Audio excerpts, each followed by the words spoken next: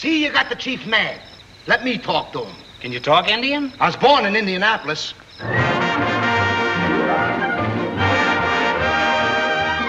It's the Marx Brothers Council Podcast. This is episode number 46 Deridin' the Range. Hi, this is Bob Gassell, and uh, normally this is where I introduce my co hosts, but to be honest, I only do that for the benefit of people who've never heard the show before. And if this is the episode where you've chosen to jump in and listen to us for the first time, what the hell is wrong with you? Okay, so let me just say, Noah, Matthew, how you guys doing today? We're fine. I picked the wrong week to stop sniffing glue. You know, we put this off as long as possible. In fact, and this is a true story, we were supposed to record yesterday, but both Matthew and myself forgot that we were going to record. So Conveniently forgot we were supposed to have a long Go West conversation. I, I, I sat here discussing the film by myself for a couple of hours. and still had more fun than you did watching it. St- still can't reach a consensus yet. So yeah, so if you don't know by now, today we're going to talk about Go West, and you know I have a history of uh, not being fond of this film. Half of it is true, half of it is just sort of put on because I like to make jokes about things, and it's an easy target. But you know, in rewatching the films throughout the uh, time we've been doing the podcast, my opinion on some of the films has has changed. Um, some are better than I remembered. Cocoanuts, room service, the big store, they've sort of improved in my uh, rankings since I've watched them for the uh, podcast. And a couple of them are not quite as highly ranked as I had um, had them before. Uh, Monkey Business and Night Casablanca. While I still love them both, maybe they weren't quite as good as I remembered. Now, when it comes to Go West, I have to say that I was expecting to like this more than I had in the past because you know, I derided it for so long that I figured, oh, it can't be that bad. It's going to be better than I remember, like room service was, like the big store was. But guess what? The film threw me for a loop because it was actually much worse than I remember. okay. I got to say. Um, but to be fair, everything is subjective, and the term better and worse might not be the right qualification here. Let me just say that I enjoy it less than I enjoy any other Marx film. It gives me less of what I watch the Marxes for. Guys, what do you think? I had a similar experience pretty recently when we recorded episode 42. Uh, That was our hot takes episode. Mhm. And I hadn't seen Go West in a long time when we did that. And I thought, I know what I'm going to do. I'm going to watch Go West and I'm going to decide that it's better than we thought. And my hot take is going to be a positive take on Go West. Or at least I wanted to be able to argue that it was a little better than at the circus. Um, and as you may recall, I watched Go West. I gave it every opportunity. I gave it every chance. You know, I tried so hard, not even to love it, but just to think it's 1% better than at the circus. And I couldn't even get there. Yeah, I still had to fast forward bits of it. Um, I really, you know, I hate myself for having to do that, but uh, but but I did. It's it's the one where the where even the good bits are bad. Now, to be fair, I don't want to uh, insult people who like this film. You know, Oh, I do. I think a lot of my uh, disenchantment with it has to do with expectations, what I want it to be, what it should be. If I had never seen the Marx Brothers before, just came across this film, I might have thought it's pretty funny. If this was the first film you saw of the Marxes when you were 11 years old, I have no problem if you enjoyed it back then and, and still hold the torch for it. Um, I've, what what I should say, the the one little bit of mitigation I I can Yeah. offer is I'm I'm not somebody who who digs westerns anyway. It's not a genre that that attracts me. I don't like the look of it. I don't like the the costumes. The you know, there's nothing about it attracts me. I, I like some individual westerns on their own merit, but I'm I'm not somebody like my my mum, for instance, who adores westerns. Um, so so it, it it already has an inbuilt barrier there, and I suspect that a lot of why I vastly prefer the big store is because they're not in the old west. It's funny you should mention that. The other day I was thinking maybe I just don't like comedy westerns. I'm a, I like Laurel and Hardy, but Way Out West is not one of my favorites of theirs. But then Blazing Saddles came out, and that's one of my favorite comedies of all time. So it's hard for me to say that a comedy western can't work because I I love that film. But uh, I think we might make a distinction between comedy westerns and parodies of westerns. You know, Okay. I mean, Blazing Saddles, one of the things about it that works so well is that it's such an affectionate and knowing satire of every western you've ever seen. Um, but a movie like Go West, it doesn't even have the satirical angle that the Marx Brothers Paramount films do. You know, it's not a parody of westerns unless you just putting the Marx Brothers in one makes it a parody, which I don't think it really does. It's a comedy western. It's a period dress comedy. But they did lean in that direction a couple of times with the references to inventions that weren't around yet and Groucho making fun of, you know, how did they do this with the gun in the holster? So they at least hinted that they Mm. were looking at this from the outside. Yeah, yeah. I mean, I just I think it's a mistake to be honest to, to, to put them in anything other than a, than a, a realistic modern situation. So I would be, you know, I would disapprove of them in in in any um, you know historical setting. But but there's something about the dustiness and the brightness and the drabness of westerns that I just think comedy has to work a hundred times harder, and and this one, you know, needs all the help it can get. I, I understand what you're saying. And I was also thinking that there are a lot of times in the Marx's early, uh, career, particularly in the early days, where they do something that is not characteristic of them, but they make it work because it's, you know, because they had good material, like the football game in Horse Feathers. Uh, There's no reason that should be a good scene, but it is because they inject their personality and, you know, it's, it's well done. So it's not necessarily that it has to be a good or bad idea. It just has to be well done. And this is just not Mm, well done. Mm. I think in, in their in their golden days on Broadway, they did often appear in period dress, you know, for an interlude. Uh, Mhm. The Napoleon scene and its equivalents in, in Cocoanuts and Animal Crackers. There would always be this big set piece where the Marxes would come out in elaborate period costumes. And that seems to have always worked quite well. There's a trace of it in the film version of Cocoanuts. Yeah. Um, but I guess part of the difference there is that it, it is satirical because it's an interlude. Yeah. It's always a scene where the Marx Brothers are putting on a reality that's different from the rest of the show that it's part of. Um, and also, those costumes were just a lot of fun. I mean, it's not fun seeing Harpo and Chico in, you know, plaid flannel shirts and boots. You know, th- there's Groucho gets a Mm. little more fun out of his costumes in Go West, but not much. Um, and I think that's a big problem here too. The idea of like dressing them up differently, and uh, I don't, I don't think that was doomed to fail. But the technique here is certainly doomed to fail. Mhm. And as I've said many, many times before, and this is not meant as a joke or a slight to anyone, but this film and this script would have been much, much better in the hands of the Three Stooges. Mm. It's much more in line with their sensibilities, um, them being in over their heads in a situation that they're not in control of. Um, you know, it, I think it would have been the highlight of their career. I did, there were just so many moments in the film where I said, "Oh, this would have been better with Moe," or "This would have been better with Curly." That, that's that's really how I feel. Groucho actually has his Moe moment there, doesn't he, where he, he hits Harpo with a hammer. Yeah. So uh, it's it's ready and waiting for them, really. Yeah, that's part of what's a little depressing about the movie. If you're if you're going into it with the point of view of loving the Marx Brothers, hmm. is that it does kind of make them, you know, sort of interchangeable with other comedy teams. Not to hmm. knock other comedy teams, but the Marx Brothers doing other teams' material never would have made any sense before. Hmm. And now you feel like we kind of have arrived at this insert comedians here point. And as far as comparing it to these other late MGMs, at least from my perspective, this is definitely the least of all those because at the circus, even though it has all the faults of parts of Go West, it also has a number of really good high points. It's got Margaret Dumont. It's got it's got a few good moments where you're generally enjoying yourself. The big store doesn't have any of that, but none of it is cringeworthy. It's it's just pleasant enough and meanders along, and you and you watch it with a nice little crooked smile, maybe all the way through. Uh, but Go West, I don't know. I just like Matthew. Sometimes you just want to fast forward or or throw the DVD player out the window.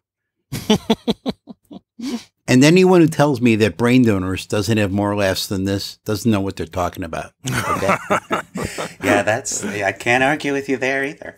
Although I will say that uh, one one thing I can say to, um, as you put it, Matthew, mitigate my my negative feelings here is that the worst of the Marx Brothers movies, when reviewing them to talk about them on the podcast, I do always find they have more laughs in them than I thought. Mm-hmm. I mean, when we did at the circus for the podcast, I remember thinking you know, there's like seven good lines in this movie. And then watching it again, you realize, no, there's like there's like 15 good lines in this movie. and you know, Go West has has 10 and not 4, you know. Yeah. I, I counted one, but but we'll as we go along.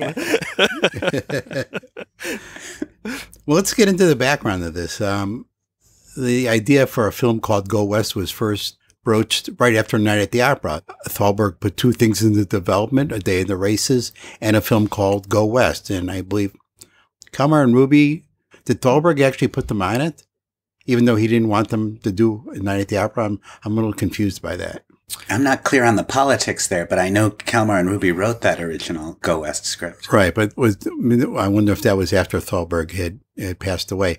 Anyhow, for whatever reason that uh, the film got put off until after uh, at the circus, at which time the original concept of the Marxes in a contemporary rodeo was changed to a to a vintage western. The only thing they kept was the uh, title "Go West." I've I've not read that um, Kalman Ruby's script. I don't know if you have Noah, but um, I, have heard I've heard differing things about it. I mean, I think inevitably it, has to shine in comparison with, with what we've got here in this movie. Um, and uh, I've certainly heard, uh, for instance, John Tefteller who, who owns a copy, and he says it's it's really really good. Um, Joe Joe Adamson has also read it, and he's much less enamored of it. If I if I remember correctly, I think I'm right in saying um, he he said, you know, it's it's better. What wouldn't be? But it's it's you know, it's not really all that either. If I've got this right, Joe in his book says that Arthur Sheekman told him he had read, he, Sheekman, had read the Kalmar and Ruby Go West script and said it was one of the funniest things he's ever read. And Adamson, I think this is in his notes at the back of the book, he calls this a subject for further research if ever there was one. I think in the years since the book was published, Joe had an opportunity to read the screenplay, and that's how he formed his uh, somewhat tempered opinion of it. Um, I haven't read it myself, so I can't tell you. It's interesting that Groucho, in particular, in fact, all the brothers were not happy with the way At the Circus turned out. And you would think they would go in a totally different direction, but they ended up with the same screenwriter and the same director. I mean, I, I guess that wasn't their original choice, but things just turned out that way, right? Hmm. I mean, it is interesting that that that Groucho, you know, singled out the direction of of At the Circus as as you know the cause of of the things that he was unhappy about in it, and and yet we do we have a, a returning director. I think for only the second time after McLeod, isn't it? At least the only Sam Wood. Oh, Sam Wood. Sam Wood. So whether that was just again a case of Groucho not just not caring enough to to bother, um, or or not having any clout at all by that time. I I don't know. Um, I, I, mean, I think to, I think it's it's a it's better from that perspective than at the circus. I think he, although although he's still recognizably that same weird Groucho, I, I think he is better here. No question about it. Yeah. And in the yeah. and, and the, the first scene in the movie, which I, I know we'll get to in detail, um, uh, Groucho's performance seems it seems like he's back. Later in the film, he regresses to at the circus Groucho, but uh, he also when he's wearing that hat, you don't have to deal with what's under it. yeah, just like the uh, opening scene of At the Circus, actually. Yes. We should mention that uh, the brothers' unhappiness with uh, At the Circus did lead to uh, them mounting a, a short road tour for Go West. And, you know, everyone likes to mention, can you imagine these comedy scenes before the road tour? I mean, if this is what they ended up with. but um, apparently, 16 millimeter films and some audio recordings were made uh, for reference. Now, the odds of these still existing and coming to light are probably pretty slim, but you never know what Mr. Uh, Tefteller or Mr. Bader have, have up their sleeve. Well, that's um, Casablanca audio turned yeah. up out of nowhere, didn't it? Yeah, so yeah, absolutely, yeah. You never know. one does wonder what a Go West tour could possibly have looked like. It seems like there, it doesn't seem like there's even 30 minutes of stageable comedy material in the movie. Um, and I, you make an interesting point in your book, Matthew, that the way they the way they were approaching a road tour at this point could easily have hurt the material more than helped it. That in, you say that in the way that their, their best scripts were probably sharpened by those sophisticated 1920s Broadway audiences that saw them, you know, just a couple of dates, uh, you know, far off in the hinterlands or military bases, as you put it, it probably would have brought out um, the the roughest stuff in the material, the broadest and most physical, mm-hmm. um, and sophistication probably wouldn't have gone over as well. Yeah. Um, do we know what they what they? I know that the Indian reservation scene they did. I presume they they must have done the first scene. I, I suspect they mm-hmm. did the robbing the safe as well because I, will bet they did that, yeah. splitting the stage in half. There are some reviews of this road tour which we've uh, uncovered, and they are not uh, kind to the uh, material. They say the audience did not respond well, and it does need quite a bit of work. Um, they do mention that the the audience did perk up a bit during the safe cracking scene, but that's about it. And you know, even after the tour was over, uh, they they still weren't happy because they basically shut down production and did a major rewrite even after the tour. Now, I think it was just to redo all the framing sequences around the scenes that they had done on tour, but still, no one was really enthused uh, going into this. Yeah, yeah. I'm yeah. just looking at some um, some of the, the cuttings I've I've got about the the road tour, and they did they did do that. So I'm, I'm literally just seeing this for the first time since I saved it a couple of years ago. Um, and they did do the robbing the safe scene and every time harpo made a noise in the other room groucho and chico uh, rushed to a piano and, and covered it up with music mm. which i would have thought would be funnier than what we've got well i think you mentioned in the book that that scene probably played a lot better on stage than it did in the film when yeah you could, when you could see the split room it's very strange in the film how they don't use that at all. I mean, mm. you hmm. have the two rooms, the adjoining rooms, where we've seen that set up twice before, and it's been great. Um, and then they they do nothing with it. Um, you know, not even a little Annie Hall psychoanalysis joke. You know, just, nothing at all. And and uh, it does feel like that scene has had its guts taken out for some reason. So, are we ready to jump into this? Um, yeah. Oh yes. okay. Okay. So those horrible credits. oh wait, let me let's let's talk about the trailer for a moment. Have you seen that? They introduced the, the brothers, and there's shots of each of them. But the one of Chico, he seems to be uh, asleep, falling asleep, which. Uh, and it's got an extra line as well, hasn't it, Groucho, saying it's just like a movie. Oh, yeah, it's just like a movie. Yeah. So on to the film, which opens, as you said, with the awful MGM title cards and generic credits. Um, even after it's over, they try to be funny with an exposition card, but all that says to me is that I'm in for a, a shit show. I, I don't know how else to put it. but I do have to say, the first couple of minutes of the film, as Groucho arrives, and when he first meets Harpo and Chico, I think that's my favorite part of the film. I think that's the best part. Up until the point they start with the whole you know, rip off with the dollar and the whole scam that Chico and Harpo are trying to pull. I, I, I don't care for that, but the first minute or so, Groucho has a couple of good lines. You know, he tells the the porters to keep the luggage. Although I do have to say that when he's ten dollars short, he seems to have left much more than ten dollars worth of uh, materials with the porters because there were uh, saddles and polo mallets and all sorts of things that he certainly could have sold for more than ten dollars. But I like that. I quite like that keep keep the luggage bit, but un- yeah. uh, th- unfortunately, th- sort of through no fault of its own. I mean, this is just me being picky, but it's the first of something that I've noticed quite a, a few, few of through the film, which is which is moments that that recall much better moments in earlier films. So here, I'm irresistibly reminded of his of his Animal Crackers entrance, yeah. uh, and you know, um, from Africa to here, a dollar eighty-five. You know, yeah. it's it's like that, but not as good. And as we go through, there there are several other moments like that. Yeah. that really you recall something better. So um, I, I really don't much care for this scene at all, to be honest. It's got some awful lines in it. Yeah. And as far as recalling the earlier stuff, um, yeah, of course it happens, but it doesn't bother me so much because you have to remember that people hadn't seen, you know, Duck Soup or Animal Crackers or at the Races in a number of years. Mm. So it's not like it was fresh on their minds. Uh, you know, people today watch the Marx films and they watch a couple within a few weeks or a few months or within a year or two. But that's not the way people watched the Marxes back then.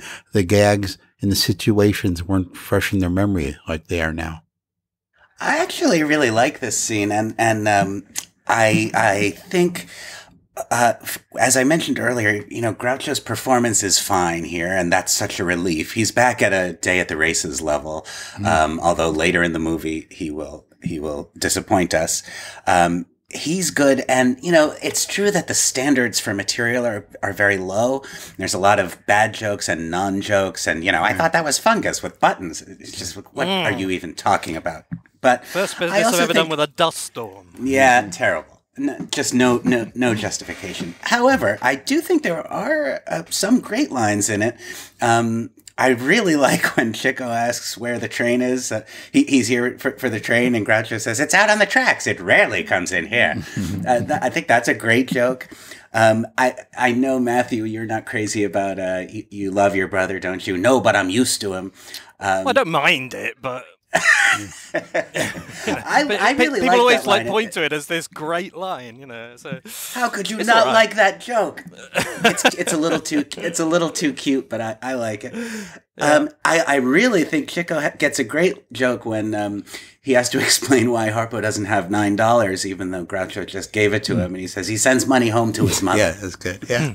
The main comic premise here, the con that they're pulling on Groucho with the ten dollar bill attached to a string, is is not that great. It's not worthy of them. But the incidental moments, I think Yeah. there are actually more laughs in this scene for me than there are in the Tootsie Fruitsy scene, which has a somewhat more clever premise. I mean, for most people, this you know it it is a, a great beginning and a great ending, and nothing in the middle is that's the kind of the, the received wisdom about the film. But um, I think when even the good bits are as iffy as these are, I think you you, you really are in in trouble. Um, I mean, obviously, the, we we've said before that this is an, an Abbott and Costello type scene, which which it is. Um, on the other hand, you know, I mean, obviously it is model. It has obviously been decided now since the day at the races that there has to be a, a Chico or Harpo uh, fleecing Groucho scene. So it's it's in the tradition of the of the badge scene and the cigars and the Tootsie scene. You know, so it's you know it's okay. It's not a it's not a terrible scene, but uh, I just think you know if this is as good as it gets, and we're right at the start of the movie, um, you know we're we're kind of in trouble. Oddly enough, Groucho um, claimed that when they took it on the road, uh, it was him conning. Chico and Harpo, and it didn't get any laughs, so he, he rewrote it um, to to conform exactly to the model of the previous two films. So I'm I'm not I'm not sure about that. I've also forgotten who wrote this, but the the um, is it is it Nat Perrin? It's not Brecher, is it? There's um. I I think Noah, you found in the in the Groucho collection a, um, a copy of the of the Road to a script. I've I've got it somewhere, um, and it says on the front uh, whatever it's called scene, uh, and it's written by somebody else. I think it's Nat Perrin. It's it's one of their other well known writers. Yeah, I think so. Oh, I don't recall. I'll have to check. You know, it drives me crazy that um, Groucho's getting fleeced here, and he's sort of suspicious, but he never calls him on it. You know, he's sort of like, "Oh, I feel a draft down here," but he but he doesn't do anything about it. I mean, why why would he just allow himself to be fleeced like this? It's not like an opera where they've gone off on such a tangent that it doesn't really matter. Here, he wants to not lose his money, but he seems to allow himself to get fleeced. Hmm. And the scene doesn't really go anywhere special. I mean, the best Marx Brothers scenes build insanity on top of insanity on top of insanity, and you end up in a place you never expected. This is just a repetition of the same bit. And you know what's going to happen. You know what's going to happen next. And when you know what's going to happen next, that's not a good Marx Brothers scene. Hmm. And one more little aside here. It, it always drives me crazy when Chico and Harpo are portraying brothers in a film because that implies that if Harpo could talk, he would be talking just like Chico. And, and that drives me crazy. Yeah, so after Groucho has been handed his hat, or whose hat does he throw on and walk out? Yeah, Harpo switches the Ah. the beaver hat that Groucho sold him with Groucho's uh, top hat, which contained some money. Okay. So we next we But move. but this will not prevent Groucho from getting a train ticket somehow. We never know why. But the I've next just time we of see one Groucho, more thing. Yeah, When um, Harpo is cutting Groucho's trouser leg Yeah. uh, to get the to get the money out, Chico and and Groucho are conversing, and their dialogue is rubbish.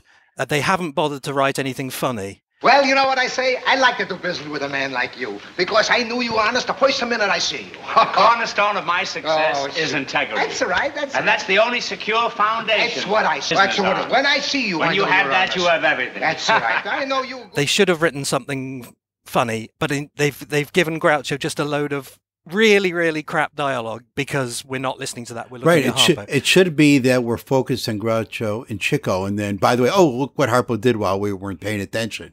Yeah, know? and they just haven't Yeah. bothered at all. Right. I think it's sometimes it feels to me like what they're attempting here is a a perversity of attitude joke, like in the old days, where Groucho is so determined to make this a, a, a friendly and successful transaction that he is perversely ignoring his own discomfort and awareness that Harpo is cutting his pants and taking his money. And uh, something about Groucho's manner in that bit where he's saying, you know, the cornerstone of my success has been integrity and all, all that. Um, what is it? It's like, um, it's just doggerel, like business doggerel.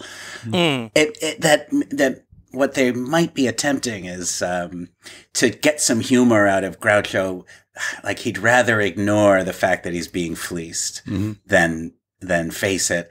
And it reminds me a little bit of some of his behavior in other times when he doesn't come out of a scene having accomplished his goal, but he's accomplished some form of social, um, you know, anarchy that Right.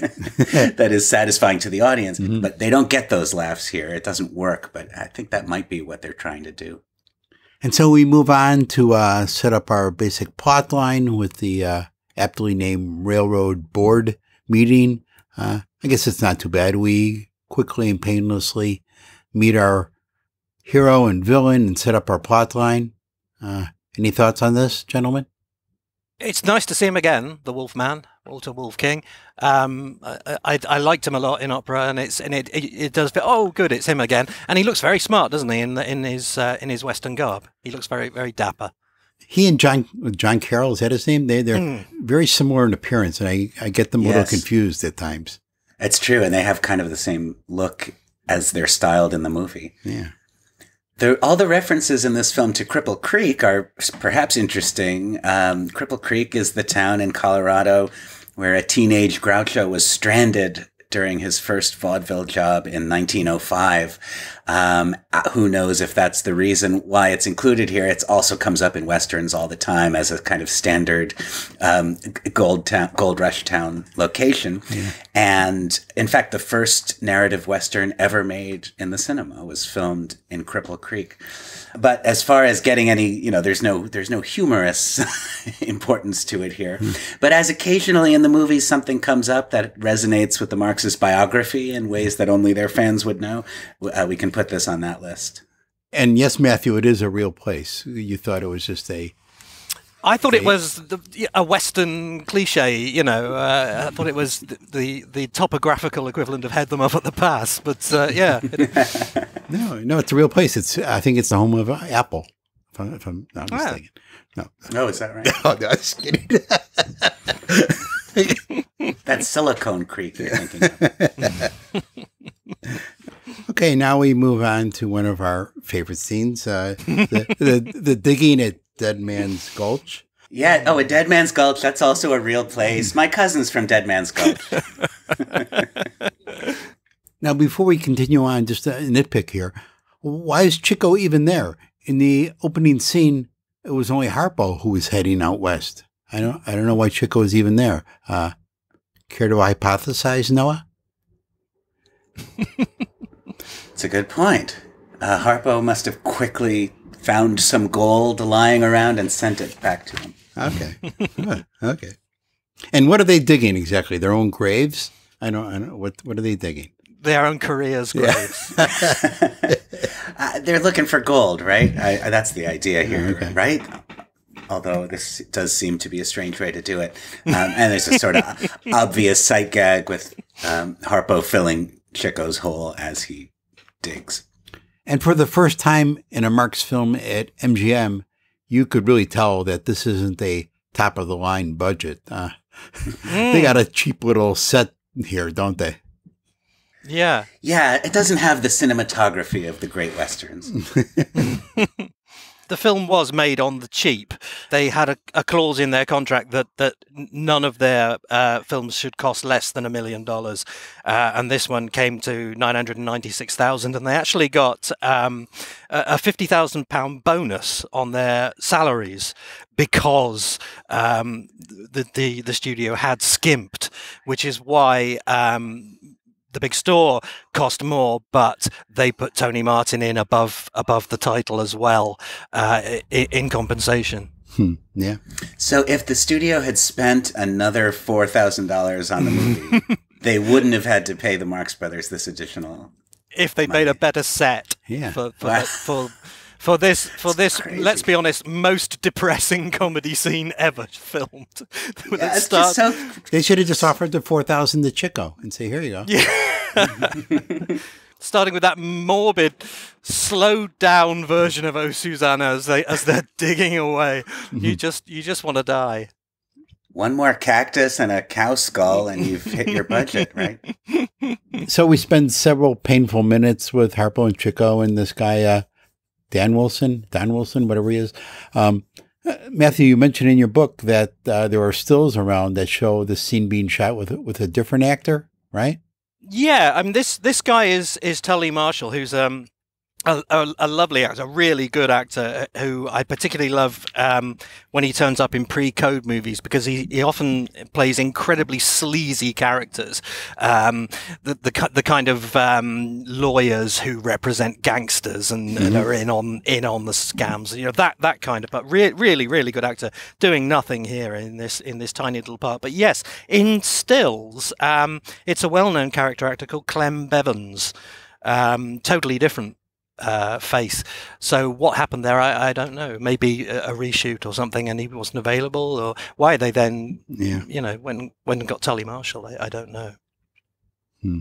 But you were saying, Bob, that there is there is a photograph of Dan Wilson later on, and, and is that a, Yeah, later on when we see Eve playing the piano uh, on the top of the piano, there are a couple of photos, one of uh, her boyfriend and one of her, her grandpa. and it's and it's this one, it's Tully Marshall, is it? I think so. Um, I wouldn't bet my family on it, but I, I think somebody would have noticed by now if it wasn't. Yeah. All right. Hey, one more thing about this scene. Chico always looks very strange without a hat, and maybe never more so than here. yes. And that's the best you can say about the scene. That punchline with the arrow, my God. Yeah, that's what I was just going to talk about. It's Yeah. just so depressing. Yeah, the scene, the the only, really the only attempt at a laugh in the scene is the very end. Mm. Once again, it recalls the moment in Animal Crackers where they take his coat and he's in his underwear. But there, he's in his undies by choice, and there are people there to be shocked. Here, it's sort of like, oh, it's a pants dropping gag. It's an it's an arrow in the ass and a, a pants dropping gag. Yeah. I mean, you could also say that the digging the two holes and Harpo emptying dirt into Chico's hole. It, it's a it, it suggests the wonderful image in horse feathers of them sawing a hole around themselves, you know, in the floor. But it just has everything that made that wonderful drained out of it. That scene, of course, which also contains some uh, some Harpo uh, feigning modesty in his underwear as well, isn't it? When uh, oh, indeed, yeah. yeah, but but much funnier. Much funnier, yeah. okay, next we meet our heroine, uh, Miss uh, Diana Lewis, playing Eve. And then comes perhaps my biggest, I think it was my biggest laugh of the film. I literally laughed out loud. And Best bit of the film. best bit of the film when um, Diana and John Carroll first embrace. we cut to a shot, and there's a horse head blocking our view of them, for several seconds, and it's not like they're Yep. kissing and they're like, "Oh, we're we're being subtle and hiding the kiss." Mm. They're they're literally they're talking, aren't they? Mm. Yeah, yeah, and, and the horse just pulls away. Now, Matthew, in your book, you seem to think that this was inadvertent, but I, I I did at first, but Okay. but uh, uh, people have pointed out to me that you can actually see um, you can you can see it being you know maneuvered in and out of shot. So so it is deliberate. It is the best bit of the film. I think the only thing that would improve it is if it was a running joke throughout the film. If at various points this horse's head would come up and get in the way of the action. But apart from that, it's uh, yeah, it's it's brilliant, brilliant. Buzzell at his best. oh, it should have happened. Yeah, many many more times in this film. Well, if it was deliberate, what could the reason possibly be? Maybe it was some some uh, somebody's prize horse, and they promised him the horse would be in the movie or something like that. He might have put some money in. Yeah. Yeah, some guy. I- I'll put ten thousand dollars into the picture as long as my horse gets a nice moment. But even so, why that? Buzzell was going for an Oscar. this was his showcase. Uh, all the hate in the dialogue is weird, isn't it? I mean, you're a Turner and I'm a Wilson, so we should hate each other, and they're having fun with that. But you know, it's just a kind of a weird and I don't know. It's a very off the mark attempt to get some romantic dialogue out of the idea of the children of feuding families being in love. But it's just a little weird to see these two just, you know, kissing and canoodling and talking about how much they hate each other. Oh, another great exchange. Another great Irving Brecher exchange is fifty thousand dollars. Fifty thousand what? It's uh, unnecessarily complicated as well, isn't it? All this about because their families are feuding, he wants to re to divert the rail in order to impress her family, but the villain, you know, I mean, why why can't it just be that they want they want the land? You know, as simple as that. Mhm. You know, the villains want the land, so Right. it, it it's so complex, and then, then it's all abandoned, isn't it? All this all this family feuding stuff is just just goes by the wayside. Just when you were starting to care about it. Yes. just when you were wondering about them if they could possibly help those kids. Okay. now, if you thought that was depressing when Harpo and Chico were digging their own graves, wait until they make their way in, into the saloon. Mm. Now, it starts out with them on the outside, and a gunfight breaks out, and they run and hide in horror. Rusty, I don't like it the West. All of the people do is kill each other. I'd like it the West better if it was in the East. And when they finally make their way in, uh, we're immediately reminded of the speakeasy from Horse Feathers, but this is about a, a million miles away. there, Harpo basically controlled the universe, but here he can't even get something to drink. Yeah. And he just he steals one without any, you know, not cleverly at all. He just goes and steals one, gets caught, gets humiliated. And the only thing stupider than him getting caught like that is Chico writing the IOU on the back of the deed. I mean, hmm. come on. That is something. What an idiot. Could he Yeah. do that? Come on. Yeah, he. I mean, it, there's always been a, a dumb quality to Chico's character, often a, a deceptively, Right. intentionally dumb Right. quality. But who who would do this? Even I don't even think the Three Stooges would use the D as an IOU. Well, maybe Shemp. I think maybe. it's possible. Um, and then also the way the, all the villains and toughs in the saloon uh, laugh at them. You know, they're objects of derision. Yeah. And when the scene's over, you realize that this wasn't really a comedy scene at all. It was a plot exposition scene to get the uh, the deed into the hands of the uh, of the villain. So, like, come on, Harpo and Chico in a saloon, and you couldn't do five minutes of comedy before you got to the uh, plot stuff. Yeah, that, I mean that's the thing that I that I find so hard to to uh, to kind of come around to is it, they haven't even been given bad comedy. Right. They just literally have not been given any comedy at all. They got you know saloon scene, Chico and Harpo, and they don't do anything. I was thinking that how, you know, comparing this to horse feathers is like almost just not fair um, because we're so many worlds away from horse feathers at this point. But you know the scene, it's on the Marx Brothers television collection. There's a TV sketch with Harpo and Chico in an old Western saloon. Yeah. Now, that's not great Marx Brothers material. It's, you know, it's so-so, uh, but it's worlds funnier and better than this scene. Yeah, So they come out of the saloon and they're they're they're instructed to take a telegram to the Wilson house and for some whatever reason they decide they're going to read it themselves. And I do like the idea that they're they're going to read it and put their fingers in their ears and not listen. That's a good idea. And and the fact that the chick goes, "Oh yeah, you know what? I have to admit I did listen." And Harpo's like, "Yeah, I did too." It was a, that was a nice little moment. Yes, that works. Yeah. And then they end up at the depot where Mr. Beecher arrives and Harpo and Chico are looking for him. And then when he identifies himself, Mr. Beecher, uh, we're here to meet you, Were you Mr. looking for John Beecher? Oh, sure. We come here to see him about selling Dead Man's Gulch to the railroad. That's fine. I'm John Beecher.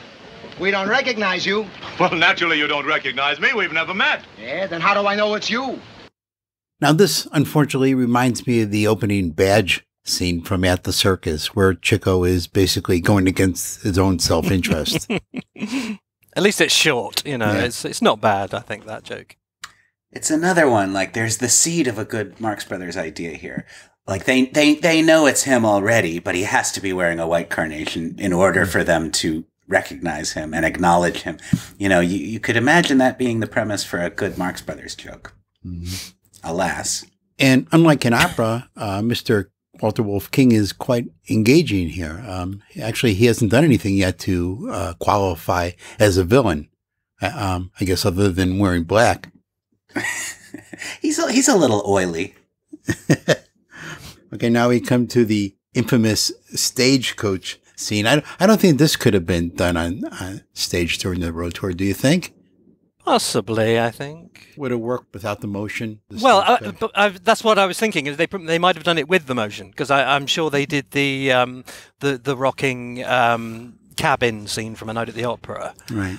Um, which uh, you know those those things are, are usually done with with people uh, with a you know with a set built onto the stage and and some form of leverage underneath. So I wonder if they if they did that.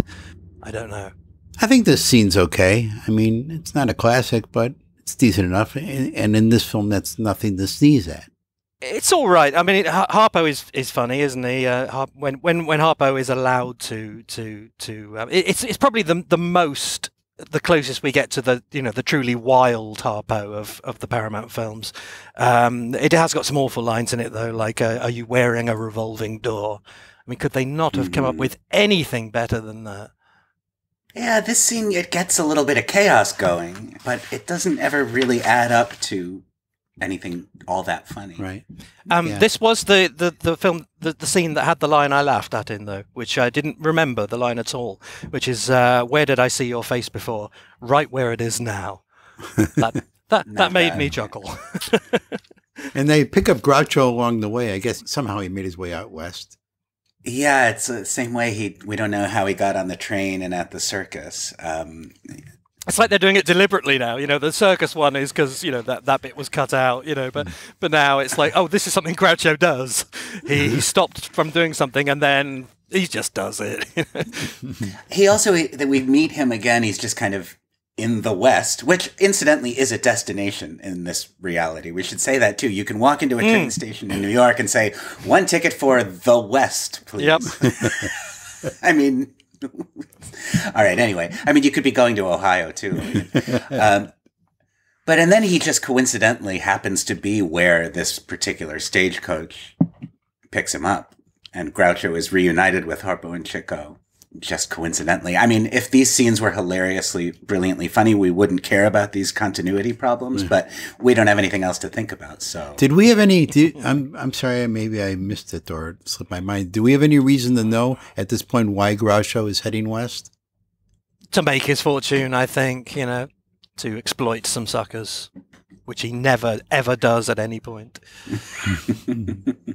What do you think of this hat switching nonsense that's going on? It's another thing. Like we'll, we'll do a try to recapture the magic of something we did earlier. You know, in Duck Soup, of course, the hat switching. There's also a moment where uh, I think it's Walter Woolf King says, uh, "I wash my hands of this," and uh, Groucho tries to sell him some soap. Um, you know, we had that same setup with a better punchline, also in Duck Soup. Yeah. And uh, as Noah pointed out to us uh, right before we started recording, that's actually Lulubelle on the stagecoach. Uh, I don't think either of us had noticed it was her. it answers so many questions about how he how he knows her, how he knows her name. Yeah, yeah. yeah. Yeah, it's another indication of just the kind of ineptitude here. We're meeting a someone who will turn out to be a major character, um, but here she's just sort of an incidental passenger on this stagecoach. Yeah. Uh, she is June MacCloy um, in her final film role. Uh, June MacCloy was a Broadway star of The Scandals and The Vanities, um, and she made a few films. Um, best known as Eileen in uh, June Moon, the 1931 film of Kaufman and Lardner's June Moon. And, and she was also a nightclub star and a singer. She has, as demonstrated later in this film, a very distinctive, uh, deep, husky singing voice. Yeah. Oh, actually, I'm reading my own book here, and I did know it was there on the stagecoach, so I've I've just forgotten it again. Uh, well, consult yourself next time. You could learn something. and we have a June MacCloy related treat for our listeners. Uh, we have some pieces of a rarely heard interview that June MacCloy gave in 1999. Hold on, I've got to deal with this cat. I'll say this again. Sorry. Just realized I, instead of speaking into a microphone, I was speaking into the nether regions of a mammal. That was like the horse walking to in Go West. yes, that's right. That was perfect, actually. So our special guest Ah. is the late June MacCloy. Yeah, we have a we have an interview with June MacCloy that you've never heard before. Um, this is from the year 1999. She was 90 years old, and she's being interviewed by our friend Peter Minton. And we want to thank Peter for uh, sharing this audio with us and allowing us to share it with you. Many of our listeners probably know Peter for his brilliant work as a musician and an historian of the Great American Songbook. Uh, and if you don't know Peter's work, uh, start with his YouTube channel, where, among other things, you can find his performances of The Monkey Doodle Doo and a message from the Man in the Moon. Uh, so uh, let's listen to a little bit of this. This is the year 1999. This is a 90 year old June MacCloy, very sharp, remembering her experiences making Go West. Go west, yeah. That now that was the. Louisville, and you were from Louisiana. Louisiana. Remember we stand up. Yeah. That yes, really, that was more fun than a barrel of monkeys. I like people, and I. This will give you a rough idea of the family I married into. I said one day, Neil's sister. That's you know my name is June. Yeah. Well, Neil's sister's name is June too.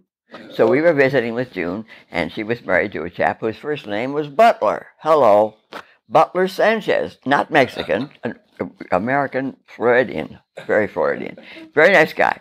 So I said, "Hey, you're going to go to see Go West, aren't you?" She says, "She said, listen to this. I don't like the Marx Brothers." She didn't say, "Well, what are you doing in it?" She didn't say it. She says, "I." I said, "Well, June, I am in it. I, I'm not ashamed of what I did. I'd like you to see it." Hmm. She said, "Well, we might go sometime." I was in, married into the goddamnedest family you ever heard of in your life. For a person that knows a little bit, very little, I admit, not more than that, of show business, to marry into a family that disregard everything concerning it. You were from Louisiana, and Yeah. Iris Adrian was from Mississippi. And who was the girl from South Carolina? Is that is that Woodbury? Oh, Joan Woodbury, of course. I never. Joan Woodbury was married to Henry Wilcoxon. Now there is another splendid Englishman. Yeah. Henry Wilcoxon was a peach of a guy, wonderful chap, Yeah. and he made the best trifles you've ever tasted. I never knew what a British trifle was till Yeah. till I met them. Yeah. No, we Joan Woodbury. I couldn't figure yeah out. Joan Woodbury Yeah. and who, who was the other? Who was the other? I can't. Iris Adrian. Iris Adrian. that must yeah. have been about her first movie. Uh, I, I know, I know. I wasn't big on Iris, but she was all right. Yeah. But I was big on on uh, Joan Woodbury. Yeah. I liked her very much. We got on fine. I got on fine with all of them. I never got, people say, "How'd you like Harpo? Does he really? Does he ever talk?" Like you wouldn't believe his vocabulary. I gosh, they had Bennett Cerf there. They had a whole bunch of people from the Algonquin in New York. I mean, round table cats. That, Yeah. You know, big time. Well, he was the only one that was in and- the uh, round table. he, they, Marco. The rest of them. Well, round Grou- table- Grouch could have done anything he wanted to.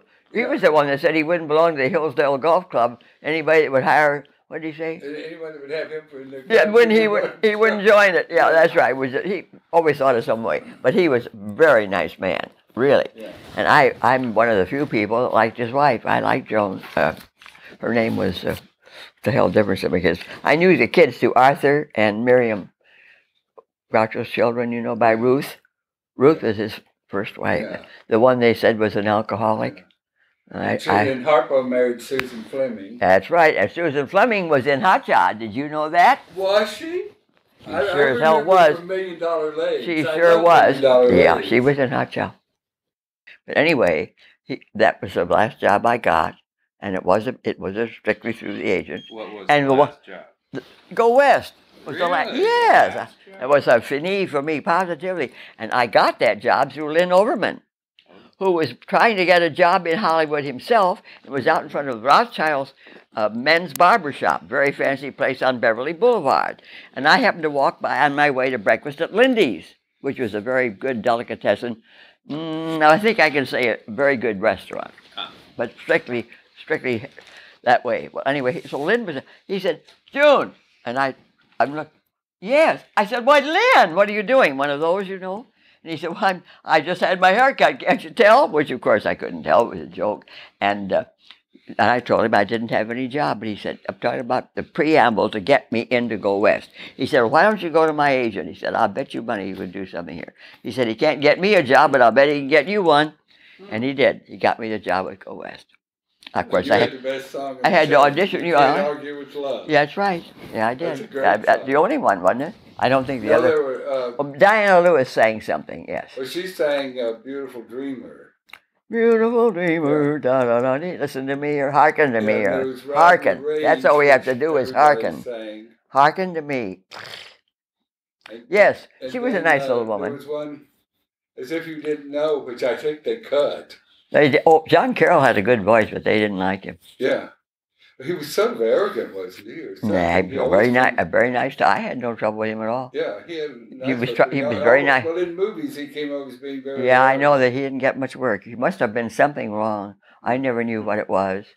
There must have been something. You never saw him? Yeah. Very, very nice looking, clean. Oh, very nice. Yeah, good guy. But uh, But that's the way it is. That was a, a big and it could be considered a glamorous role for you. You did it Well, it- cause much attention to your to you as a celebrity or a comedian. I don't think that I, I don't think I wouldn't recognize what celebrity meant. I never did have much of that.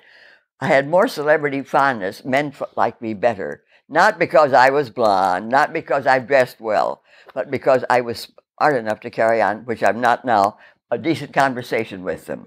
I seem to have lost that ability, but I, don't think so. Oh, well, I, I try. I might have lost it, but no, I don't mean women were against me. I got along very well with Diana Lewis. yeah, She was nice. Uh, Bill Powell was on the set a couple of times. She was married to him. Did you know that? yeah, oh yeah. Well, then you know the story. Anyway, uh, I didn't see anything wrong with him. I thought he was a nice guy. Were were you treated well by the by Groucho? Oh boy, couldn't have been better. How do you think I met his wife and was there twice for dinner? How do you think I met some of the people from the from the round table at the Algonquin? Right, and most wonderful food, and really a very nice house. Nine ten Hillcrest, never will forget. Nine Crest Hillcrest, Beverly Hills. So there Betcha. was no snobbery. No, no. And Grouchy wasn't on that. He used to sing that uh, Lydia and Lydia, some guy. He loved that. He used to play. He played guitar. Did you ever know that? Oh, he did. Yeah, quite played well. He played quite well, in the yeah. I said, "Do you really like that song?" I didn't know how important that song really was. He loved that song. Oh, oh yeah. Did that? It's a great song. Oh, I thought it was ridiculous. I, I've Oh, got, I've got very peculiar taste. I'm in a British cake, I guess. So quite quite a feisty lady there, huh? Brilliant, yeah. Yeah, she's terrific. Interestingly, she she got the role because Marion Martin, who we know uh, from The Big Store, um, was ill. She was originally cast in the role, and there are promotional photographs of her with um, the Marxes as Lulubelle. Uh, but she, she got she got ill and, and had to pull out, and that's that's why uh, June MacCloy was was cast. And uh, Marion Martin was promised a role in their next film um, in compensation, and she was originally going to be Martha Phelps. Um, Martha Phelps was going to be a, a much younger, more attractive, uh, or you know, more obviously attractive woman. Um, and then when it was decided, because it was definitely going to be their their last movie, it might be an idea to get Margaret Dumont in. She was given uh, the role of Martha Phelps, and the and the role that Marion Martin does play was was created out of thin air, just to to um, honour that promise. Yeah, back to June. You you can understand how someone would give up uh, their film career after appearing in Go West. They like, right? Uh, it's interesting to hear what she has to say about John Carroll. You know, that uh, he had a great voice, but they didn't like him, um, and that's the only explanation I've ever heard for the absence of the song, as if I didn't know, which is in the credits and it's on the in the radio promo, but Yeah. not a trace of it in the film. Yeah. And I can also vouch for uh, the merits of a British trifle. yes, that was great, wasn't it? We should, we got to cut you make that our soundbite that we play as your intro. Matthew. Here's a fine English gentleman.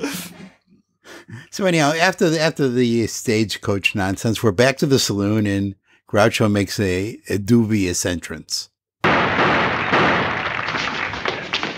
Nobody can outshoot Two Gun Quail. Boys, sweep 'em out of the gutter. Why, there's nobody out there. Well, sweep out the gutter. Uh, where's George S. Kaufman when you really need him?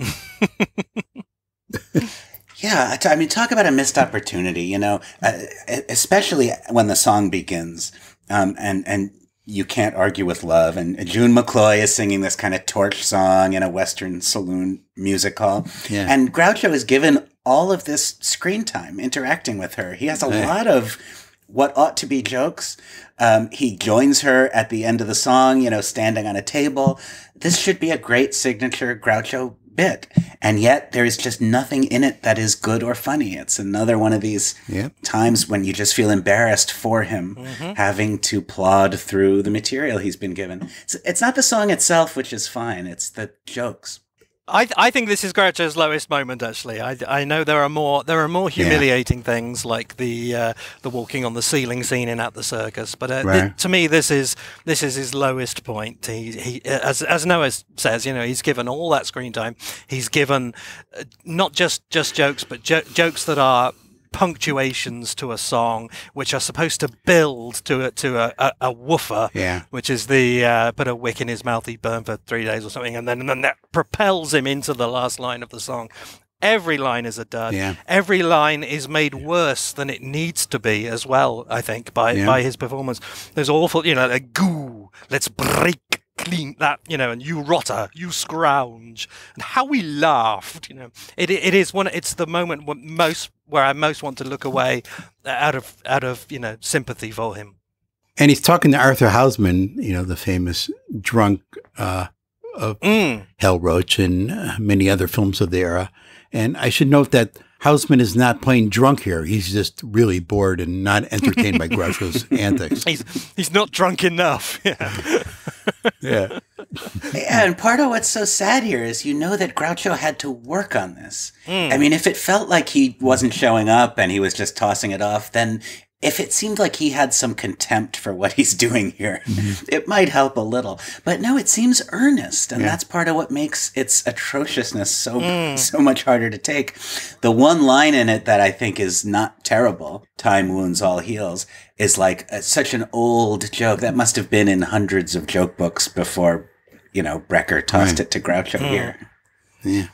You know, jumping back right before the song, we get these couple of racy moments where Groucho says, "Oh, Lulubelle, I didn't recognize you uh, uh, standing up." You know, which you could obviously interpret it a number of ways. And Brett Baxter telling Lulubelle to go show Groucho a good time, which you know, I, I don't know how else you're supposed to take that, but I'm sort of surprised that got past the uh, authorities. Although we, we now know, of course, that he has seen her standing up because she's she stood up hmm, when Right. when he makes the revolving door joke, isn't he? So Right. even e- even on its own terms, Yeah, it's so ambiguous. Yeah. It's possible the censors just couldn't make it through this movie. Like they got away with some things Yeah, here 'cause- yeah, that explains the orgy scene at the end. You know, they just they weren't they weren't watching by then. It does get filthy, doesn't it? Yes. So uh, Harpo ends up getting the deed back uh, from the register uh, during the song, uh, tossing all the, the cash away to get to it. And uh, Groucho then takes the deed and goes up to uh, to seal the deal. And to celebrate, Chico decides he wants to play the piano. And actually, this is a very nice piece he plays here. This is one of the more entertaining Chico piano solos, in my opinion.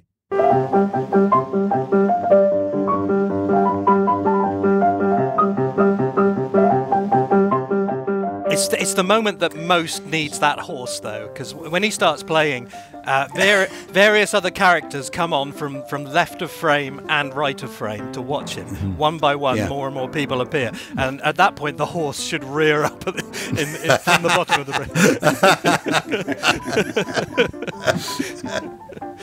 bridge. Uh, it is a, a relief, I think, when Chico sits down at the piano in this film, and you know that for two minutes, and it's exactly two minutes because Harpo times it.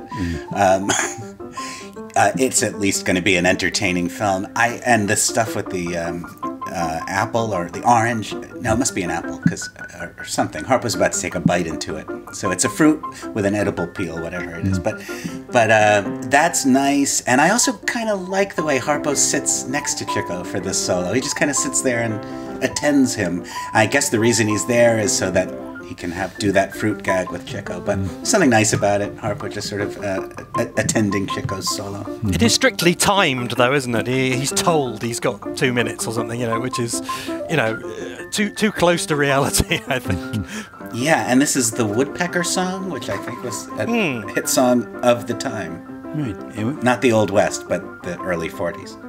and we also get a little of uh, Listen to the Mockingbird, which most people know is the theme from the early Three Stooges films. Oh yes. And when the tune is over, we cut upstairs, and Groucho is not getting satisfaction from uh, Mr. Beecher and uh, Mr. Baxter. He's not getting the money he expected. Not to mention Brecher and Buzzell. yeah, this is one of the more pathetic uh, uh, moments in the Groucho canon. He's being pushed around uh, verbally and physically. He's being taken advantage of and uh, ends up getting tossed down the stairs once again. Yeah, and so compare this with with his scenes with with Alky Briggs and uh, Joe Helton, Joe yes. Helton. Yeah. Or Trentino and Duck Soup, or even his adversaries in opera and races. Groucho has far more nerve and audacity. You know, it's really very sad. He's cowardly. Yeah. He's bumbling and blustering. Yeah. All the things that on some comedians are Yeah. exactly right, but on Groucho. Yeah, this very would be a great Bob Hope scene. I mean, that bit Mm. about the eyesight, that would be in his wheelhouse, not not Groucho's. See that shelf down there by the bar? Yes? Do you see the bottles on the shelf? Yes? Do you see the corks in the bottles? Yes? You see that man sleeping at the table? Yes. See his nose? Yes? See the fly in the end of his nose? Oh, yes. You've certainly got good eyesight. Yeah, I think as we've sometimes said about some of the other later films, there seem to be moments where Groucho, in both the writing and the performance, is specifically um, trying to match something of the style of Bob Hope and also Danny Kaye. I think s- some of the stuff in the "You Can't Argue with Love" number is the kind of material Danny Kaye would have handled well, although it would be very substandard material for Kaye too. But all that stuff that you were responding to, Matthew, uh, uh, the, oh, how we laughed, and uh, there is a Danny Kaye quality to some of that. That I don't know when when when Kaye did it, it was I guess not as offensive because it was not as um, contrary to his character. Um, although it's not like there are good Danny Kaye jokes in there either. Mm-hmm. But you can, I think, we, as we've said before, you can see that Groucho is apparently trying to update his style to what is currently in vogue in comedy. Yeah, I mean, we could criticize the writing and, and everything all we want, but you know, times have changed, and what people found funny in 1940 was not what they found funny in 1930. So, you know, you had to do that. You had to Yeah. go that way. We get the fall down the stairs because it was such a big hit in uh, Night of the Opera, so we thought we'll do that again. And we get that line, um, Yeah. "Force brandy down my throat," which is quite, you know, not a not a bad line. Um, but again, it recalls the the "Where is the whiskey" from uh, from Animal Crackers. And then we get the uh, showdown between Harpo and Baxter, and Harpo surprises him with the broom duster, and you know that's a great moment. It's, it's prime Harpo. It's, Not bad. You know, it's unexpected, which is what we want in a Marx Brothers film. Yeah, nicely executed too. Harpo's manner and deftness and and uh, good cheer are, are all right on the mark here. and and the fact that he that he squares up to him straight, you know, so so he's suddenly fearless in a way that none of them have been yet. Uh, you know, Groucho in particular is at his most cringing and inept, which is ni- neither are, are qualities we want from him. And, and, and then suddenly, when, when they're doing that, you know, that step forward bit, um, you know, Harpo is is is absolutely, uh, you know, doing what he should be doing there. I don't understand though why when Harpo pulled out his gun, Baxter pulled out his and didn't shoot. He certainly deserved it.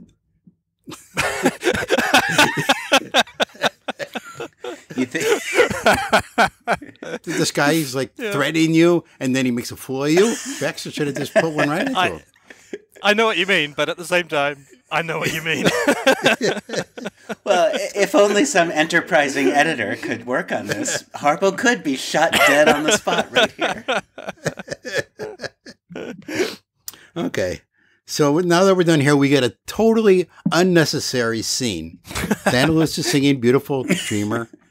Um, as Harkin, harkin. but she doesn't actually does a, say does a nice job, nice little, nice little song, and then the brothers show up to basically explain what's going on. But she's terrified by them. it's like the delivering the letter scene from A Night at the Opera, but times forty. Two utterly mysterious things about it. One is that uh, when she opens the door, they scare the hell out of her just by virtue of who they are. They're not they're not doing anything menacing. It's just the Marx Brothers, and she's frightened. And then the I guess this is all supposed to look uh, sympathy for them, but the only sympathy I have for the brothers right here is that they're in this film at all. Harpo has come with this because they think she's younger than she actually is. Harpo has come with an enormous rag doll that he's got strapped to his back. This is then given to her. She puts it in a chair, and nothing is nothing is done with it at all. Think, thinking she was a baby. I mean, would you bring a baby, a doll that's like four times bigger than a baby? I think it just happened to be one of their sex dolls that they said, "Oh, we better bring something." Yeah. That does seem very much like a companion doll rather than a toy. And there's also just some uh, more horrible, horrible lines here. I, I hate what, what is when Groucho says, uh, you know, he says, "Come on, miracle men. We also double at weddings as best men." What are you talking about? Yeah. They've decided that this is something Groucho does now, you know, because he did it with Kitty Carlisle and he did it with more, you know, Sullivan. So this is this is now, you know, Groucho consoles the heroine. And they keep telling her that nothing's wrong, but she looks at Harpo's face and says, "Oh my God, I can tell there's something awful that's going on." And since when is Harpo's face the uh, the clue that something's amiss in the plot? Okay, moving on. Now we get to the big uh, safe cracking scene, which I guess is supposed to be one of the big comic uh, centerpieces of the film. Uh, I, I don't know what to make of this thing. There's parts I like, parts I don't like. It, it's but it's a real mess either way. What do you guys think? I'll just let me just let me just pour a mint julep. Hold on. Anybody got anything on the Don Ameche joke? Uh, I've I've got a contract out on it. it seems to me a sort of unjustly celebrated line. It's fine, but it seems to me a very uh, superficial film reference. Mm. Um, And and it would be alright if it was the only one like that, but he you know he does that over and over again, doesn't he? Yeah. Like I said, I don't, I don't know what to make of the scene. There's bits I like, particularly a little throwaway, a little incidental stuff more than the big gags. But whatever, it just seems like a lot of effort for very minimal payoff. I like them standing up and sitting down, you know, over and over again. That's quite nice. I like when Harpo does stuff like gets the the first you think he's he's getting the drink just in his hat, and then you realise he's got a little little can in the hat. That you know that's quite nice, and the bit with the magnet. I like the fact that Groucho says his father was called Rufus. I don't know. I, there are incidental things in it that are funny, but I, I don't like um, the way Groucho and Chico are playing drunk here. Um, it, just because it seems both uncharacteristic of them and not very funny. Um, if it were, I, I would take either of those two, but it's it, it isn't either of them. I don't mind the premise, actually. I- I'm certainly up for anything new and different. And we hadn't seen this before. Uh, we'd seen Harpo drunk or, or whatever in, in Cocoanuts, but the idea of Groucho and Chico getting drunk is certainly ripe with possibilities. Um, I'm just not sure they pulled it off here. I mean, one of the reasons, yeah. as it could have worked differently, but one of the reasons I don't like it is because it's another example of them being taken advantage of. Um, if they were deciding to get drunk, you know, for some for some reason, then you know maybe that could be funny. Uh, if the if the, although it's hard to imagine them needing to loosen themselves up, uh, but uh, you know, it's another example of them being sort of stooges Yeah. in the in the narrative situation, and um, the repetitions of you know the toast to where we girls was born you know it'll make you giggle a little bit but only because of the repetition. It's like the science of comedy tells you that if you do something slightly absurd three times by the third time you'll you'll you'll get some giggles out of it. But it's it's so misapplied um, it makes us think maybe of the hard-boiled eggs Yeah. in the stateroom scene. But in that case it's like it's whetting your appetite for the momentum of the comedy scene to come. Um, here, it's presented as though it's you know funny enough on its own, and uh, it just isn't. Mhm. And I think some of Harpo's gags, although Harpo does have some good funny moments in this sequence, um, I don't know. There's something about that big Looney Tunes magnet that I don't like. uh, the stick of dynamite. It all feels a little beneath Harpo. That he should be more ingenuous. Yeah. I think this is another one of those scenes where where you you just you scratch your head and you wonder what went on on that tour because you look at this and you think this is a scene that has potential. You know, there's something. You know, th- th- this isn't a dead loss. This sequence. So I know. Let's let's take it out on the road and and and and work on it with an audience. But no, this is after they've been on the road. Mhm. Yeah. Oh, also, we have this thing with the desk. Um, this will return in the big store. Harpo has this encounter with a funny desk, and it's like uh, you know, it's not that Harpo is funny; the desk is is funny. You know, the desk is the comedian in that scene, Yeah. and this is not the way Harpo has traditionally operated. He's not. That was the moment where I said Curly Howard would have done this better. Him getting frustrated with Yeah. the desk. Yeah. Uh, even Chaplin, under the right circumstances, could do something like this with a funny desk. But Harpo, you know, should be delivering madness to a buttoned-up world, Yeah. not playing straight man to a piece of furniture. And there's also a, a humiliation joke here, like uh, one- that we d- actually didn't mention in the uh, the carriage. Uh, they they don't like the jerks in the carriage, and Harpo and Chico uh, immediately go to leave. Um, there's the there's a line towards the end of this. Um, so they the villain says something like, "I I don't like your face," and Groucho says, "I suppose you think we like him." I like that. That was like my favorite line. Really? Uh, Yeah. Yeah. oh, yeah. oh, Beggars can't be choosers, right? and also um, the the bit at the end, which is quite you know quite good where uh, people keep coming in saying put your hands up and it's and it's a you know a representative of, of a different uh, half each time so it's it's one after another you know the villains come in say put your hands up and then a hero comes in and says put your hands up and then a villain comes in and says put your hands up um, obviously obviously the last one should be Zeppo oh, wouldn't that be great if he just walked in? Now that would save the whole movie. Actually, Okay, so they get the deed back. Yay, they got the deed back. Is the film over? No, it's not over. Oh, we still got some more to go. Okay, so the the villains decide, okay, well, they're going to stop them from getting on the train the next day. So yeah, nice tune. I, I have to admit, and we get all the brothers contributing. When else have we really seen that? Uh, I was going to say Duck Soup, but Harpo really doesn't do anything other than clap his hands and dance around. It is really really nice and it Lydia, but a it's, little. it's in the wrong place isn't it it should have been in it should have been like half an hour in Yeah, the you know the plot has just kicked in and we're ready now for the for the frantic bit you know the the the tra- and instead we get a song and then we get that fucking indian mm-hmm. scene and it and it Matthew, just Matthew, Matthew, I, you, I have to correct you. It's fucking Native American scene. Okay. I beg your Oh, I'm pardon, sorry, yeah, fucking indigenous Native American, indigenous scene. I'm sorry. Okay. um, yeah, as soon as they meet Turner, then they should do riding the range, and it and you know it would be perfect. But it is a nice song, so so let's not. And we get to hear Chico sing for the first time and only time other than horse feathers, right? Mm, Yeah. mm. And Groucho strum his guitar. It is very nice. Yeah, uh, Chico has a couple of lines at the end of uh, Day at the Races, but yes, it's nice. And Harpo on the harmonica, uh, Groucho, yeah, has an Italian accent uh, at one point. It's nice. It's, it's also kind of nice. We've never seen it before, even though it seems pretty natural. The Marx Brothers kind of acting as the backup band for the male lead. Um, it's nice, um, and it's kind of it, the only time they're allowed to not be funny is when they're playing music.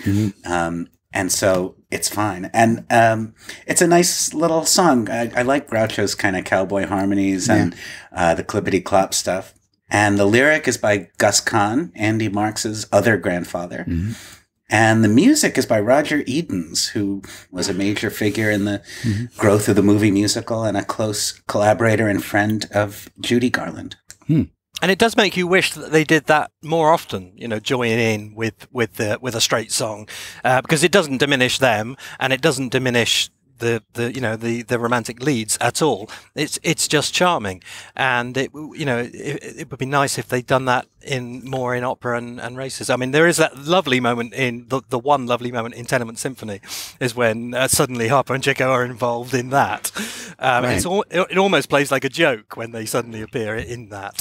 Um, but Mm. yeah, it's something that they perhaps could have explored a bit more if they'd done a few more films at this point. Mhm.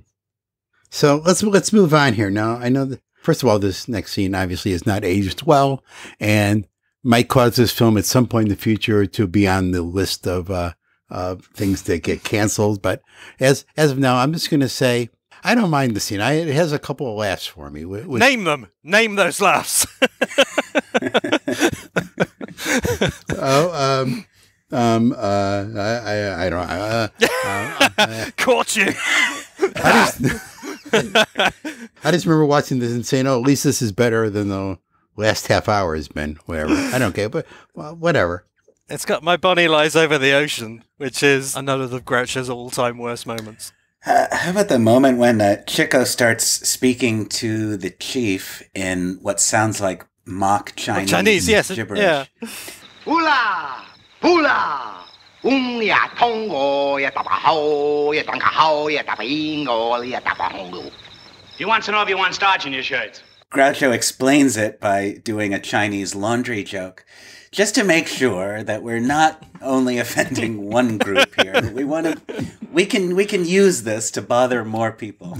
And they said we could top it, which they did in the next film. Yes, that's right. They certainly did. Yep. Uh, I think the totem pole at the we see at the beginning of the scene. There's a totem pole, and it has Groucho's Yeah. face is among the faces carved into it. Um, I, I find those moments interesting, not necessarily funny or good, but it reminds me of in Duck Soup when they paint his face onto the vase that's over his head. Uh, yeah, using Groucho's image as this iconic thing. Um, it's interesting. It seems to kind of. Um, it seems like a meta theatrical joke in some way. It's funny actually because I, I I was always wondering if that was going to be a, a joke and the joke with that rag doll because all the time that that Harpo comes in with it, you never see its face. It's always got its back to the camera, and then when he gives it to her, it's got its back to the camera. And it's only at the very very last minute when she puts it down in the chair that you see the face, and it has got this very uh, over over expressive face painted on it. And I and I just thought, oh, is it going to be Groucho's face? Oh no, no, it's not. But- Margaret Dumont's face. just, just for a moment, you know, I thought it was going to have a big moustache, and, and but sadly, no. We can probably assume that the that totem pole was, uh, or at least that part of it was painted and it was used in another. Way. Yeah, it's a shame. but, It would have been uh, a great if it- piece of memorabilia. Mm. Boy, Yeah. if it survived, yeah, wouldn't that be nice? And then, of course, the scene ends with uh, Harpo's uh, solo on the. Uh, A loom, yeah.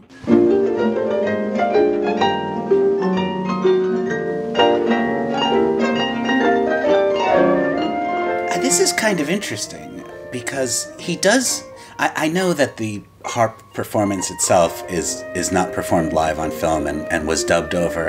Um, I guess we'll talk about that too. But it does seem like, at least on the on film, he is really plucking those strings, which seems hard to believe because it it also appears to be a loom um, that has half a blanket woven, you know, hanging from the bottom of it. What do you think this is? Do you think they built a thing that is playable like a harp and then fashioned it into a loom for the scene? Possibly, but my suspicion is no. My suspicion is that uh, he's just doing the, the hand movements that would be correct on a harp for that tune, and that all the other people in that scene are stood there for about three minutes listening to, at most, the very slight twang of some pieces of string. I guess it also kind of follows up on the Day at the Races harp solo, the idea of an improvised harp. Oh, and the song he's playing is Land of the Sky Blue Water uh, by Charles Wakefield Cadman. Um, we've discussed in the past the fact that occasionally Harpo would have backup harpists um, who would either work with him uh, and, and sort of tutor him, or in some cases would record his solos or certain challenging passages within the solos for him. A controversial And point that many people It's a controversial point. Yeah.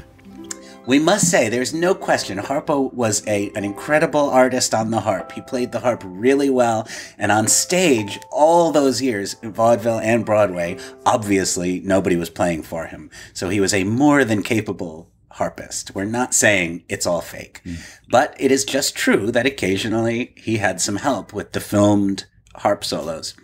And we know from, uh, among other things, uh, these interview clips from June MacCloy that Peter Minton shared with us, that Harpo's backup harpist uh, on this film was uh, quite an eminent one, uh, Casper Reardon, who was a celebrated and kind of pioneering jazz harpist, a classical musician who went jazz and kind of revolutionized the harp as a jazz instrument.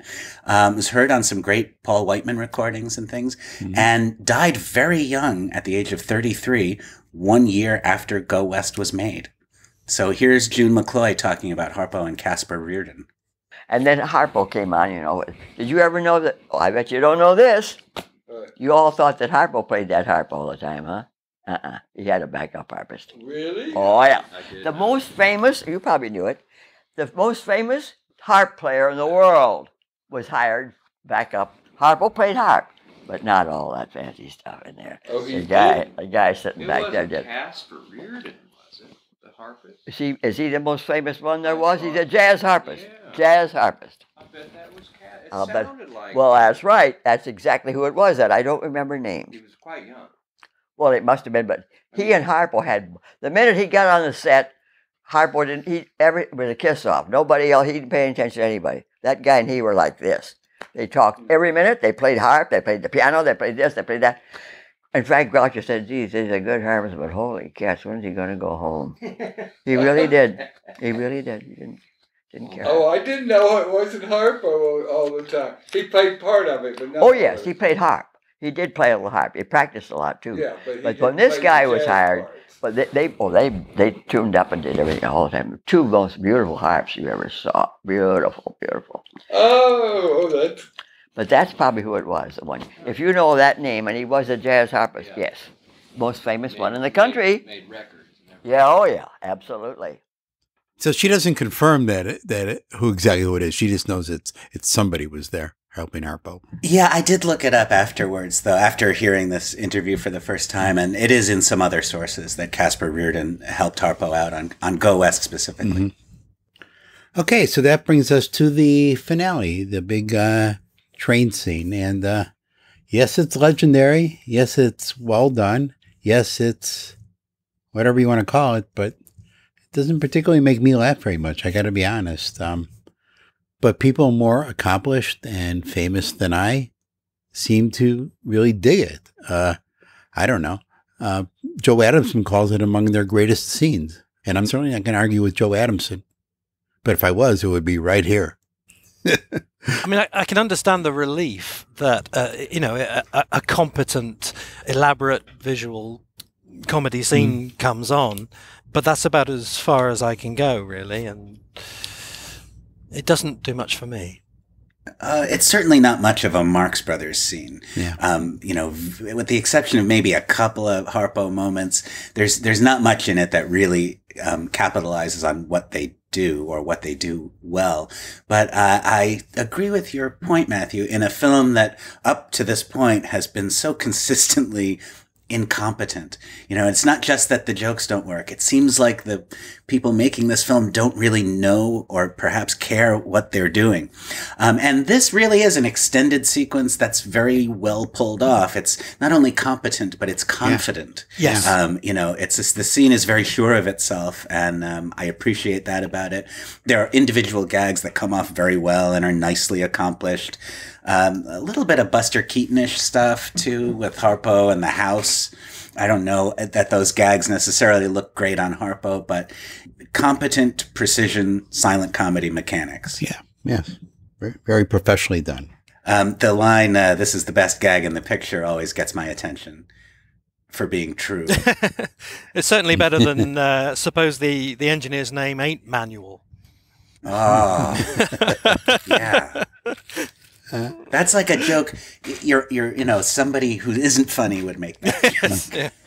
But well, let me go back to again what I said much earlier. It's not that the scene isn't funny. It's just, you know, for us, it's not Marx Brothers funny. We're not the audience for it. Yeah, I mean, I don't mind a bit of a bit of uh, you know visual trick comedy. You know, as Right, long as long as it comes at the end, and as long as you've had your fill up until then. So, like when Right. when when Universal made uh, W.C. Fields films, all end with a with a frantic chase. You know, that's fine. You know, the, the, the at the end of the bank, Dick, great. You know, because we've had an hour of Fields being Fields, and so yeah, let's kick back and have a chase. You know, and I quite you know I I don't dislike the uh, the finales of At the Circus or The Big Store. I mean, I appreciate that that, that there's nothing great or Marxian about them, but you know, I, I don't I don't. Well, they don't go. They don't go on 15 minutes like this one. no, Yeah. that's, that's right. I, I don't, but I don't. I don't sit there with a sour face, you know, saying this isn't the Marx Brothers. I'm not standing for this. You know, I, I I don't mind.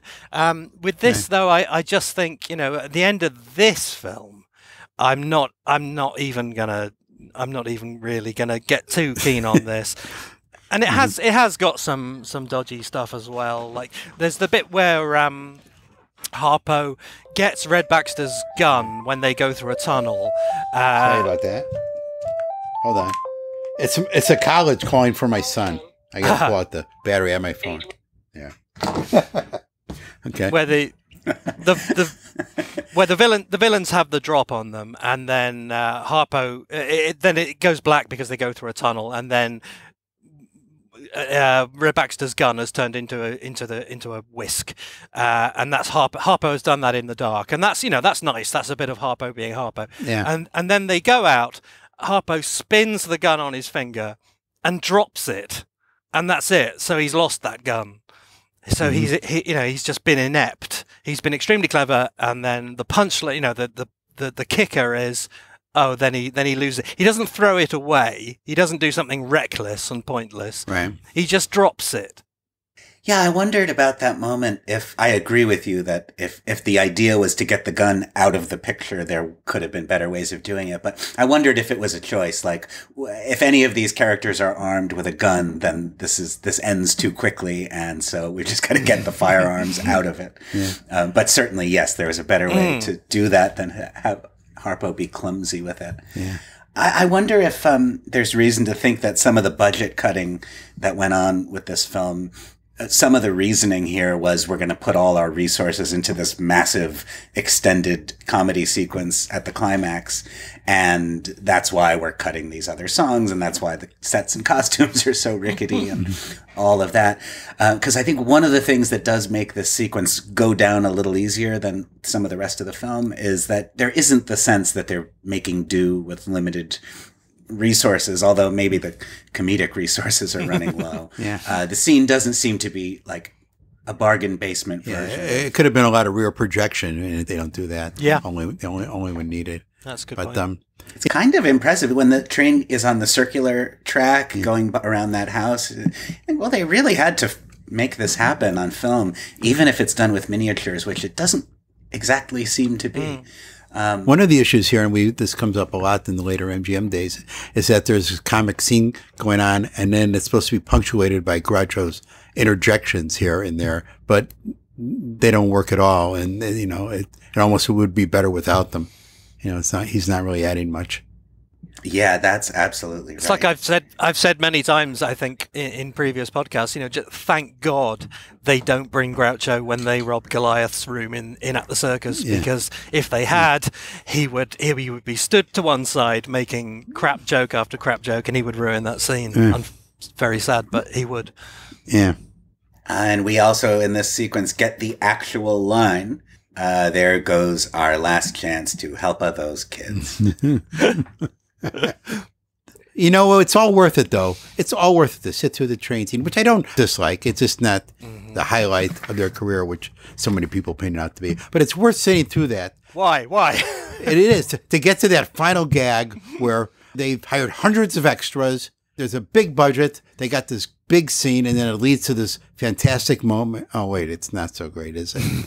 it's uh, Harpo hammering the uh, train official back into the ground in one of the most poorly directed gags of all time, which is totally framed wrong. So we're centered on the guy who's going to get hit with the, with the backswing. This is wrong on so many accounts. And the brothers uh, shake hands, and we fade out, and I think they're shaking hands because they're congratulating each other that they got through this film.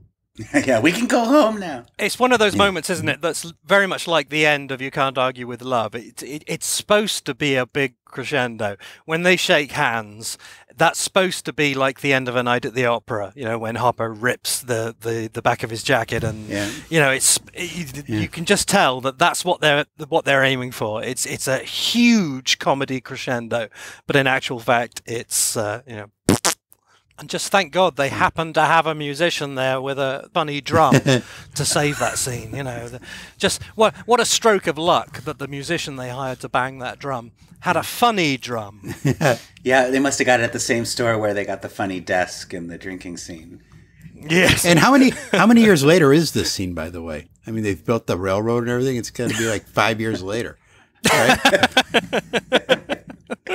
That's right. Yeah, there's a big time jump at the very end. So so that's it. We get a the end title, which I don't I don't know. Once the film faded out, I shut the thing off. Was there the end title? Were there end credits? I had to get out of there as soon as possible. Oh, you did, so you didn't see the little scene after the credits? No. You didn't see the post credit Oh scene. boy. Oh man, that's the whole film. Baxter and the doll. No, it sets up the big store. I don't see how you could understand what's okay. going on in the big store if you haven't seen that scene. So I was checking out some contemporary reviews from when the film first came out, and they were surprisingly good. I mean, they weren't overwhelming, and some uh, scribes certainly were down on it, but it, it got mostly positive uh, feedback. Uh, you know, I guess people were were very forgiving or had short memories. Variety liked it. It was especially popular in the small towns. You look at those uh, exhibitor reviews that we like to look at. The, the people in the rural areas really, really like this one, and you know, more power to them. You know, uh, these are the same people that had enough of them uh, when Horse Feathers came out.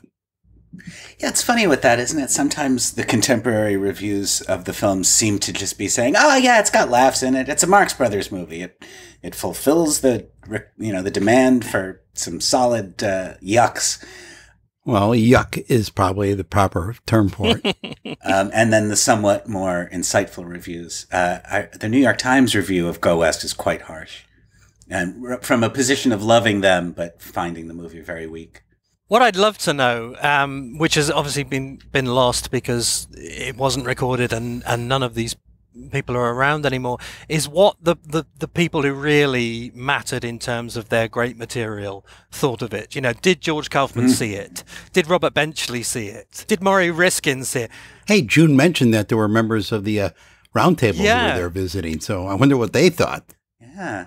I mean, obviously we know, you know, Groucho's letters um, all, always paint a negative. Like, so, Sh- you know, Sheekman, Sheekman got a, you know, uh, the the kind of Groucho that we wish was in the film, talking ab- talking about the film, you know. But but did you know did Robert Benchley just think, oh, there's a Marx Brothers film on, I'll I'll go and see that, and and come away thinking, what the hell was that? You know, I saw these guys on Broadway and and they kicked ass, and what what are they doing? It does seem like some of the critical community at the time was very much on the same page that we are and that fans are mostly now, which is, you know, uh, these guys are the greatest. There's nobody else like them. And it's sad to see them in such a shoddy vehicle, but it's still nice to see them. Uh, I mean, that's kind of been the, I think, the prevailing attitude toward these later films almost as soon as they were released. Uh, yes, it's true. There there are also glowing reviews of, oh yeah, it's got a million yucks. Take your kids. Um, and there's also people who still feel that way now and say it's fine. It doesn't. Not everything has to be animal crackers. This is funny. Shut up. I'm not listening to your podcast ever again. I can't I can't blame anyone if they enjoy the film. More power to them. It's a it's a comedy. You know, I want it to be something else. It's not what I want it to be. It doesn't make the world a worse place, Well, but at the same time, you know, there are there are better ways to spend an hour and fifteen. It's not physically painful. it's it's not actually agonizing. It's it's just a Um, it is, however, as the ad campaign tells us, it is rip roaring with laughs, girls, songs. I think we can all agree with that. Yep. It certainly rip roars with laughs, it rip roars with girls, and it rip roars with a song or Yeah, a, so- a song uh, and a half, isn't it? A song and a half, yeah. Song and a half, yeah. yeah. Okay. Nine dollars change, please. so you guys got anything else? no. Okay. So I think that's it. I'm amazed we've lasted this long. so unlike the movie, we're not going to overstay our welcome here. We're gonna, we're going to get out of here while we still have some dignity. Well, I don't know. Maybe we're too late for that. So I don't know who wants who wants to pick the final song here. Who's got something in mind? Matthew, I think you got something you wanted to play here, right? Have I? Did I? Yeah. Or no? You're just you're just you're just treating me like Jay Hopkins, aren't you? yes, yeah, I did. I, I of course I had a song in mind, and it's this. He's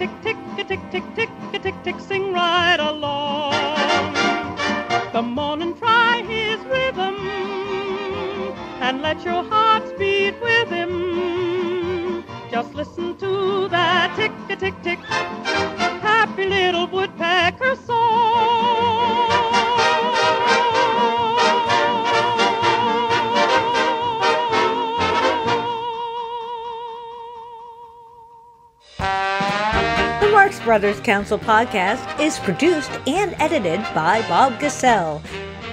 Matthew Coniam's books, The Annotated Marx Brothers, and That's Me Groucho, are published by McFarland.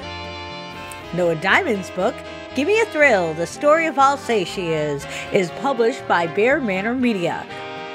For more info on this and all episodes, visit our website at marxbrotherscouncilpodcast.com. Also look for us on Twitter. And for the place to talk Marx and meet fellow fans, join us on the lively Marx Brothers Council Facebook group. See you next time!